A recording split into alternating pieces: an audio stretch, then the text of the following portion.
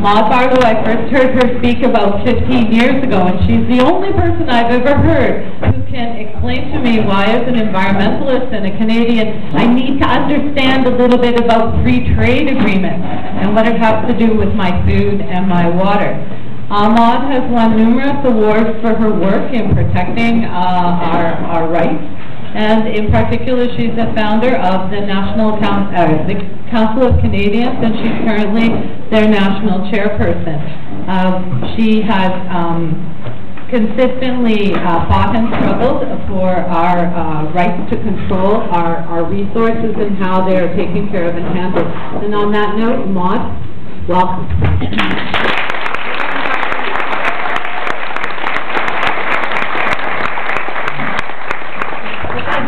Thank you very, very much, uh, everybody, for having me here. Ellen, for your lovely words of introduction. Bill, for, uh, where are you, Bill? Wishing to, yeah, thank you, to have this happen today. Um, the lovely Marianne um, Elsa here who picked me up from the airport, um, taking me back. Marianne and I were very involved in the fight to stop the dump site on the Alliston Aquifer called Site 41 last summer, and we won. I just tell you one little quick story about, well, two quick stories about that. We really started to heat things up. They started uh, doing the construction on the pod after years of, of wrangling. It was actually happening and a group of First Nations women set up a camp uh, on a farm across from the site. And they and a group of local farmers and others would just kind of have full prayer meetings just by coincidence in front of the big trucks coming in every day to, to uh, the site. So of course they stopped construction long enough for us actually to get the moratorium that eventually led to them to, to shut the process down. But it was when they, the police came to arrest um, a woman in her late 70s, she and her husband in their 80s, were home at the time, and, and she was baking butter tarts for the local church bazaar. And I thought, if you're arresting 80-year-olds who are baking butter tarts for the church bazaar, we're going to win this thing. but my favorite was uh, um, the day of the moratorium. People got up. The place was absolutely packed. There were hundreds and hundreds and hundreds of people in the county council chambers, out spilling out on the streets in the national media.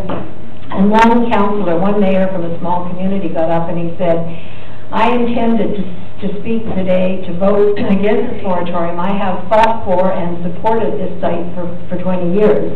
And I take pride in standing up to my, my uh, community, and, and I was all ready to do this again this morning, and I walked into my office, and then in my office, my, the kid, my grandkids had found a Stop Site 41 sign, and they put it on my desk, and they wrote the word Papa on it, meaning, you stop it today, Papa.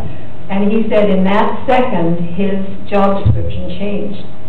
And his job description went from providing a great uh, environment for business and growth and all of that to being a steward of the water. He said as he wept. Great big guy. Uh, it was a very, very moving moment. I mean, maybe the, in all of the work that I've done over the years, I don't think I ever heard anything more moving or better description of what we should be doing when we're elected or when we're teaching or when we're doing anything in public life, and that is being a steward for this gorgeous environment out here. So uh, I just want to say thanks to, Ellen, uh, to Marianne. and a funny story, Marianne gave me water from her well. Last week I was uh, speaking at the Sustainability Week um, at the New Jersey Institute of Technology and it was the sustainability committee.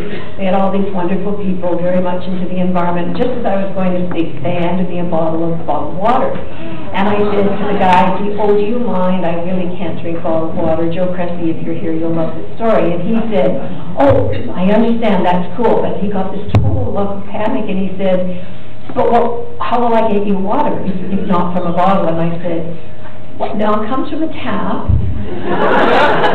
Um, do you have a cup? A cup, he said. Yes, I've got a cup. I can get a cup from the tap. And I said, it comes from the Catskill Mountains. It's the cleanest water in the world. You're really, truly safe with this water. But it was this total perplexed look that where would you get water if it weren't from a bottle? And he wasn't a kid. So, I mean, like, there wasn't that excuse that he never had an experience of other water. So our lives are crazy, are they not? and just, uh, Ellen, talking about trade agreements, I just want to warn you all, there's another one coming along the pike. I'm not going to talk a lot about it today because I want to talk about water. But if you go to our website, Canadians.org, and even better, if you join our organization, we're nonpartisan, nonprofit, um, we uh, have got great information on this, uh, a very bad new agreement the Canada-European Comprehensive Trade and Investment Agreement, and this is the biggest trade agreement ever, ever, ever that Canada's entered into. It will go way beyond NAFTA because it's all about what they call subnational government contracts. So it's schools, universities, uh, hospitals, um, uh, water systems, road systems, everything that we do, all the local spending that we do is now going to, if this, if this is uh, signed, and they're really two-thirds through the process, and you've not read about it, right? Um, if this happens, it means that European private service corporations like Veolia and Suez, the two biggest water corporations in the world, for instance, will have the right to challenge local public utility spending and, and be able to open it up to privatization.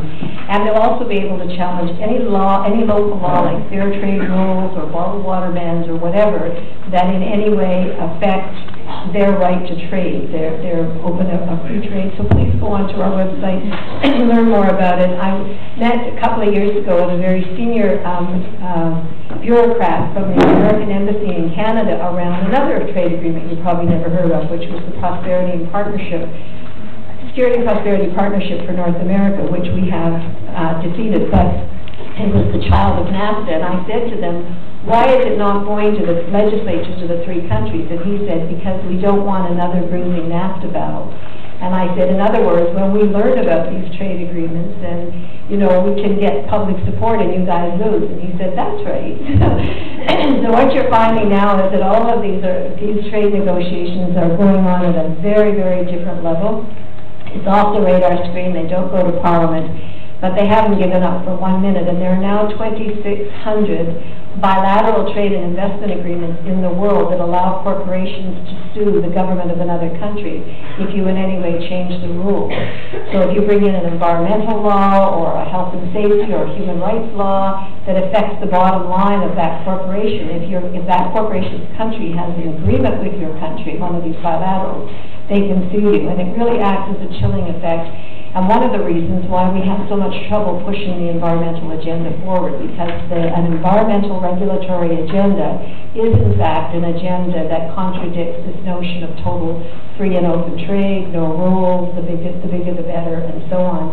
And uh, I just warn you, uh, down coming down the pipe, I know we've been fighting the tar sands in northern Alberta, and I don't know if you know that for every unit of, of energy, oil that they produce from those tar sands, we're destroying three units, equal units of water. Um, and they're held in great big uh, holding ponds that are so toxic that if the birds land on them, they die. And they, we